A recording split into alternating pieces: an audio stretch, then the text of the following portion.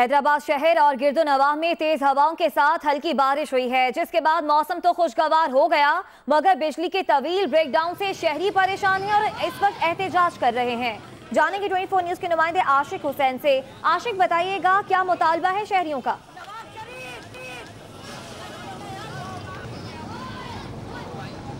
جی رباب حیدرآباد شہر اور اس کے گرد و نواح کے علاقوں میں شدید گرمی اور حبس کے بعد جو ہے، آج شام ہلکی بارش ہوئی تھی تیز ہواؤں کے ساتھ۔ اس کے بعد موسم تو خاصا خوشگوار ہو گیا ہے اور گرمی کی شدت میں کچھ کمی آئی ہے تو شہریوں نے سکھ کا سانس بھی لیا ہے۔ لیکن اس کے بعد ہیسکو کی جانب سے جو ہے بجلی کا طویل بریک ڈاؤن ہوا ہے۔